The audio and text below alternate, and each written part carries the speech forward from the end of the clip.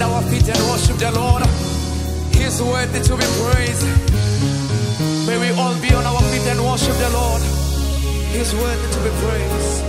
Thank you, Jesus.